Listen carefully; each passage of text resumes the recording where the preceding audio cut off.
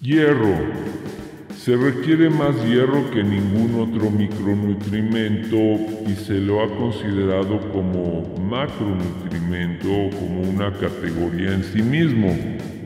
Sin embargo, esta alta demanda puede estar relacionada con la fuerte tendencia del hierro para formar compuestos insolubles de varias clases en el suelo y la planta, que lo hacen inaprovechable o inútil.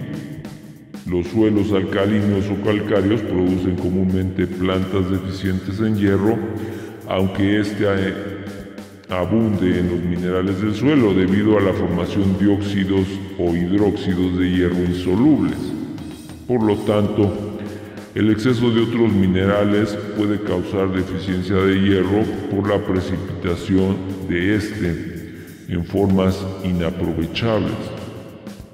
Por otra parte, también puede ocurrir toxicidad por hierro si los suelos en los que abunda se vuelven fuertemente ácidos.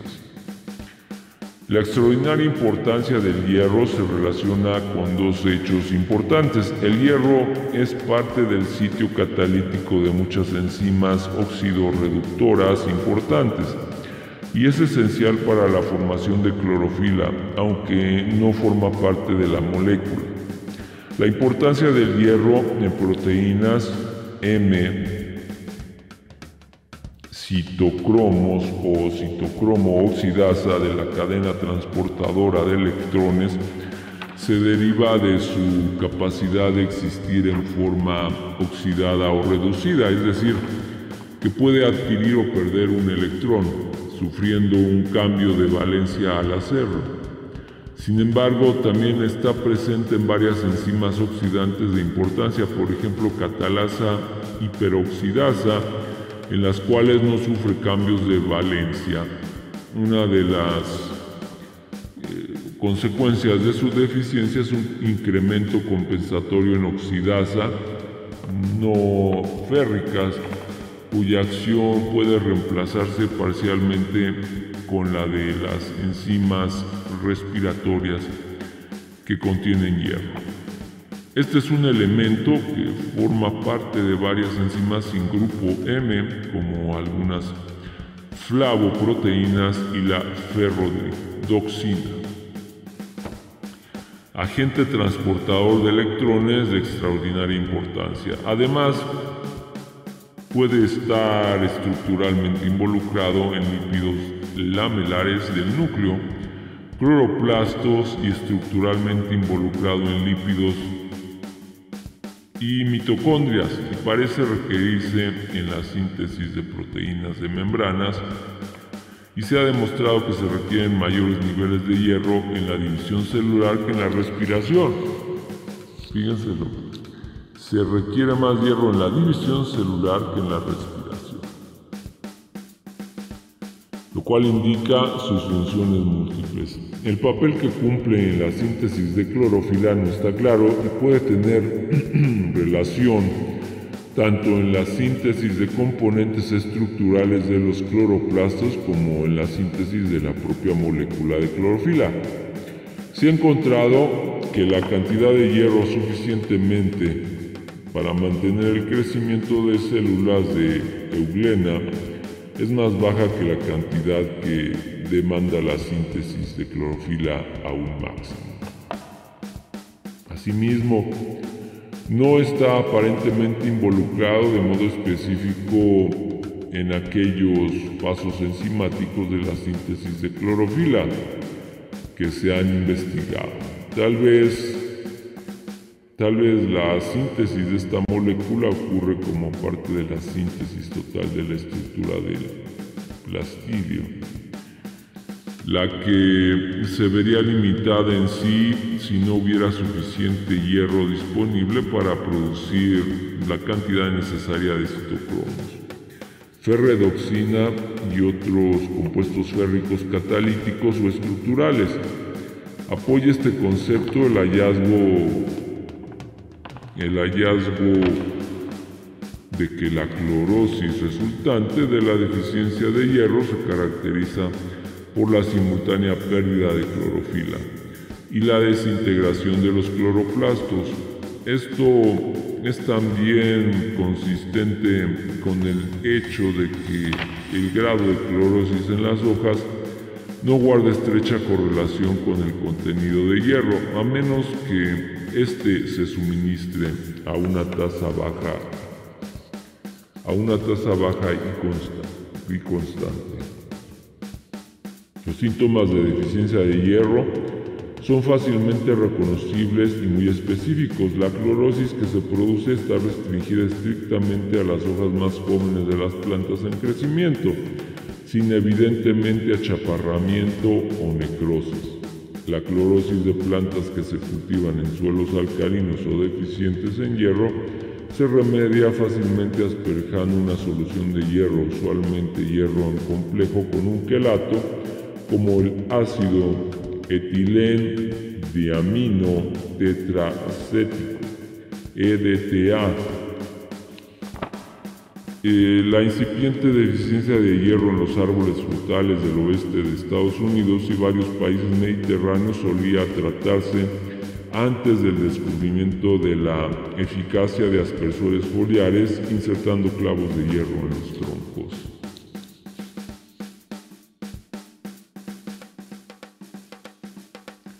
Continuando con el libro de Bidwell,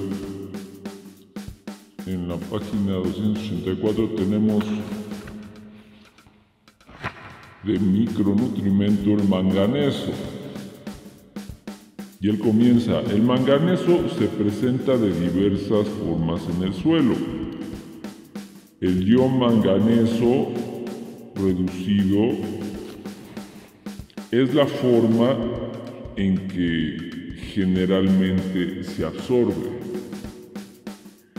El manganeso, como el hierro, llega a ser deficiente en suelos oxidantes o alcalinos, porque se convierte en formas inaprovechables. El manganeso se involucra mucho en funciones catalíticas es el metal activador de algunas enzimas respiratorias y de reacciones del metabolismo del nitrógeno y la fotosíntesis. Se necesita para el funcionamiento del nitrato reductasa, por cuya razón las plantas deficientes en manganeso requieren NH3. También se necesita para la operación de algunas enzimas en el metabolismo de la hormona ácido indol-acético. El papel más importante del manganeso en la fotosíntesis reside en la secuencia de reacciones mediante las cuales se derivan electrones del agua y se libera oxígeno. El manganeso también puede tener un papel estructural en los cloroplastos, lo que se torna susceptibles a la luz en su ausencia y finalmente pierden su estructura y se desintegran bajo condiciones de disminución extrema de manganeso.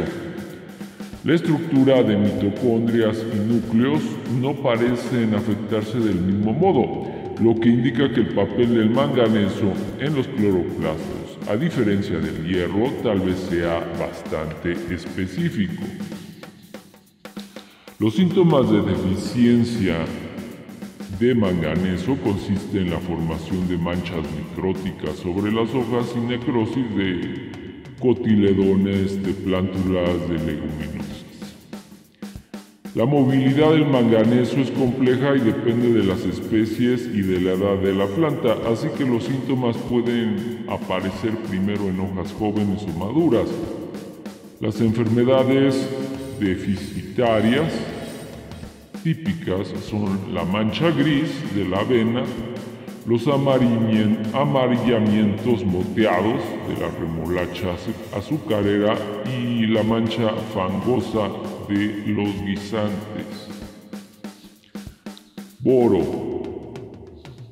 El boro está presente en pequeñas cantidades de la mayoría de los suelos, pero su disponibilidad es a menudo muy pobre porque está ligado estrechamente a complejos de la estructura del suelo y, en mi opinión, a muchas enzimas. La absorción del, del boro es muy baja en suelos con mucho calcio y el encalado tiende a reducir su absorción, lo que quiere o más bien lo que sugiere que el calcio induce al boro a participar en complejos o a precipitar en el suelo, o bien reduce la capacidad de las raíces para absorberlo. Voy a leer esto de nueva cuenta. La absorción del boro es muy baja en suelos con mucho calcio y el encalado tiende a reducir su absorción, lo que sugiere que el calcio induce al boro a participar en complejos o a precipitar en el suelo, o bien reduce la capacidad de las raíces para absorberlo. Y a muchas personas pues, han estado investigando y están investigando las enzimas en el suelo. Eso es lo que puede lograr la disponibilidad de este mineral. El boro es un elemento cuya función en el metabolismo vegetal aún no se comprende con claridad. Aunque es demostrable su papel esencial para el crecimiento de la planta, el transporte y la absorción de los azúcares se reducen mucho en ausencia de boro y se sugirió que el azúcar acaso se desplaza en forma de complejos de borato en la planta.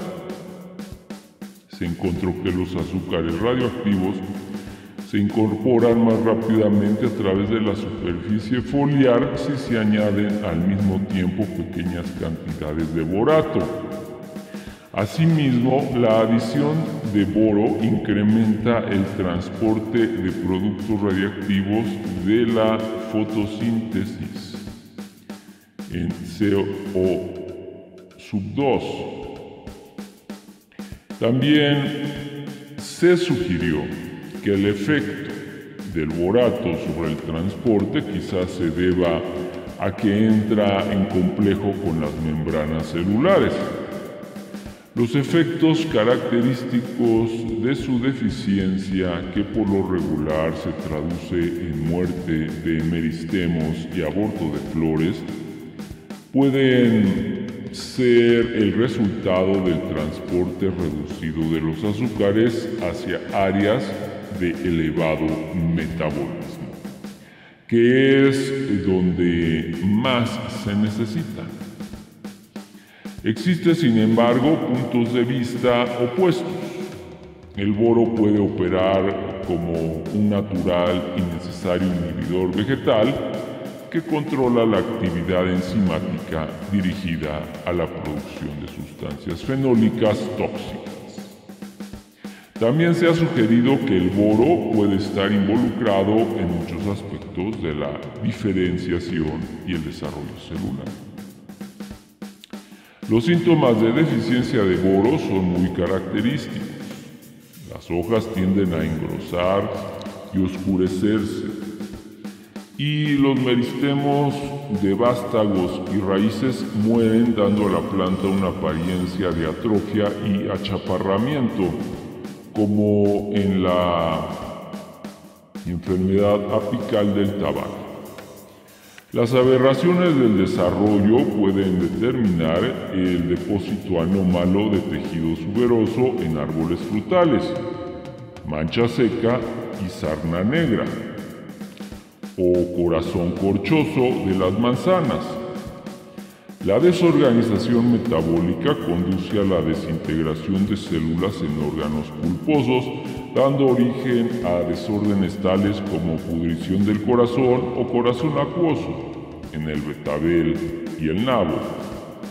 Un efecto muy común de incipiente deficiencia de boro que se encuentra a menudo con plantas cultivadas en suelos graníticos ácidos, los arándanos son especialmente susceptibles.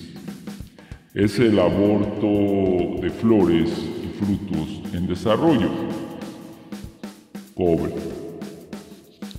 El cobre se presenta en pequeñas cantidades en casi todos los suelos, los cuales son continuamente reabastecidos por la intemperización de minerales que contienen cobre. Está normalmente presente en el complejo de intercambio de los suelos, donde está retenido firmemente, pero disponible para las plantas. De manera que su deficiencia en la naturaleza es rara. Sin embargo, la fertilización excesiva con fosfatos puede reducir su disponibilidad al formarse precipitados insolubles y las huertas frutales ocasionalmente sufren, por deficiencia. El cobre desempeña funciones exclusivamente catalíticas en las plantas, siendo parte de varias enzimas importantes como la polifenol oxidasa y la ácido ascórbico oxidasa. Está presente en la plastocianina de los cloroplastos, un componente importante del sistema transportador de electrones de la fotosíntesis y puede estar involucrado en la reducción de nitritos. La deficiencia de cobre causa necrosis en las hojas y les da una apariencia marchita y oscura. Las típicas enfermedades por deficiencia son el reclamo de las plantas cultivadas, en donde las plantas se arrollan apretadamente y se tornan blancas en las puntas, así como la muerte regresiva de los árboles frutales, donde las hojas se marchitan y caen, la corteza llega a ser áspera y fisurada con exudación de sustancias gomosas. Zinc. El zinc está ampliamente distribuido en los suelos, pero como muchos otros metales llega a ser menos aprovechable conforme aumenta el pH. El resultado es un cierto grado de deficiencia muy generalizado, particularmente en huertos de cítricos, en suelos neutros o alcalinos, el zinc tiene relación directa con la síntesis del ácido indolacético, entre paréntesis IAA. Y como tal, su deficiencia puede causar cambios sustanciales en la forma y hábito de crecimiento de ciertas especies, produciendo plantas atrofiadas y de baja altura con pobre desarrollo de la dominancia apical. Además, el zinc es un activador obligado de numerosas e importantes enzimas, en las cuales se incluyen las deshidrogenasas del ácido láctico, ácido glutámico, alcohol y pirimidin nucleótido. El zinc parece estar implicado en la síntesis de proteínas, puesto que sus deficiencias puede traducirse en, una, en un sustancial incremento de compuestos nitrogenados solubles. Los síntomas de deficiencia de zinc incluyen atrofiamiento y reducción notable del tamaño de la hoja que conduce a la hoja pequeña y la roseta de manzanos y durazneros así como clorosis intervenal que produce la hoja moteada y el frenching de los cítricos. Una carencia de zinc produce la enfermedad yema blanca del maíz y puede conducir a una considerable reducción de la floración y la fructificación, así como achaparramiento y crecimiento radical pobremente diferenciado. Molibdeno. El molibdeno se presenta en muy pequeñas cantidades en muchos suelos, pero a pesar de su escaso requerimiento por las plantas parece existir una deficiencia inicial generalizada.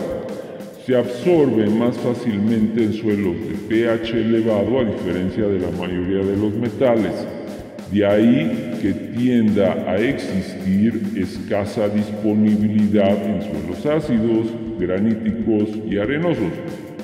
El papel más importante del molibdeno es la de la reducción de nitratos y fijación de nitrógeno. Su deficiencia, particularmente en plantas con fijación simbiótica del nitrógeno, se traduce en una disminución del contenido de nitrógeno orgánico. Ello induce síntomas de deficiencia de, nitrógeno, lo cual hace más difícil la detección de deficiencia del molibdeno. Sin embargo, el molibdeno tiene evidentemente otras funciones porque la mayoría de las plantas lo necesitan, aunque se desarrollen en presencia de fertilizantes de amonio. Los síntomas de deficiencia de molibdeno incluyen la marchitez moteada y marginal de las hojas que produce la enfermedad mancha amarilla del fruto de los cítricos. La clorosis comienza en las hojas de mayor edad como en la deficiencia de nitrógeno, pero a diferencia de las plantas deficientes en este, los cotiledones permanecen con una apariencia verde y saludable. La cola de látigo es una enfermedad deficitaria de molibdeno, característica de coles y plantas afines, en las que las hojas jóvenes se distorsionan considerablemente debido a una nervadura central prolongada y limbos angostos. Limbos angostos de exiguo desarrollo y generalmente rezagados.